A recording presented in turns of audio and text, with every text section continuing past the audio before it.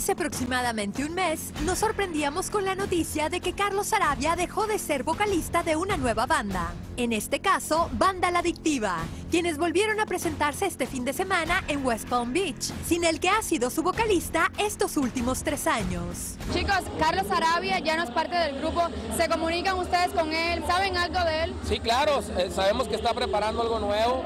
Eh, Carlos los términos en los, que, en los que él está con la oficina, pues él nada más lo sabe, el por qué también él lo sabe, entonces nosotros tenemos nada más una, una explicación que es eh, seguir trabajando aquí en la adictiva y a él agradecerle por el tiempo que estuvo con nosotros, eh, su amistad, su compañerismo y su profesionalismo, de verdad, es de admirarse. Un abrazo, lo queremos y de verdad la adictiva pues sigue trabajando, él a lo mejor va a hacerlo de manera eh, separada, pero de verdad agradeciéndole lo que hizo aquí en la adictiva y lo que, y lo que logró con su carrera. ¿no? Esta no es la primera vez que Sarabia deja una banda de primer nivel. Recordemos que el cantante formó parte de Banda El Recodo, Banda Recoditos, y luego de una corta carrera en solitario, comenzó su nuevo trabajo como vocalista de Banda La Adictiva, con quien tampoco ha podido aguantar. Decía que se sentía desaprovechado en el grupo. ¿Qué opinas sobre eso? Pues esa ya la cuestión de él y la oficina, ¿no?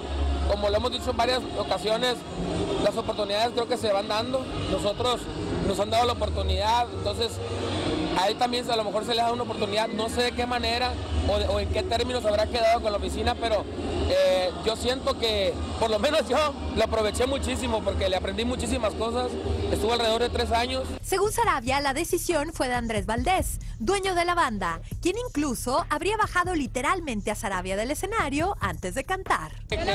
Para mí, no, es muy profesional, es una persona muy ética, muy correcta, le gusta mucho es muy perfeccionista que a veces no, a lo mejor no se puede, pero siempre, gracias a Dios, él tiene la, la capacidad de darle solución a muchas cosas que uno a lo mejor no entiende porque no ha pasado por tantas cosas, pero se lo agradecemos de verdad a todo corazón.